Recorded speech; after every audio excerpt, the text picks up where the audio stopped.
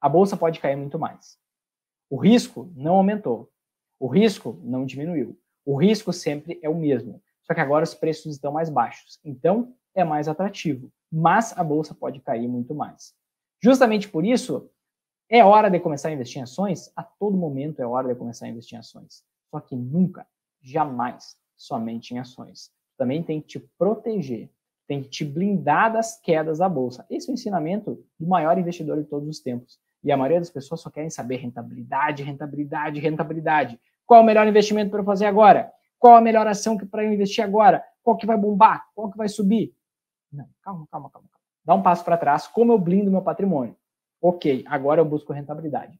É assim que tu ganha dinheiro no longo prazo. Sem ter esse processo mental, sem fazer isso, não adianta. Tu pode até ganhar dinheiro por um tempo, mas tu vai viver sempre com dúvida, preocupação, ansiedade, medo, sem saber o que fazer, sempre apreensivo, porque tu vai estar querendo adivinhar o futuro.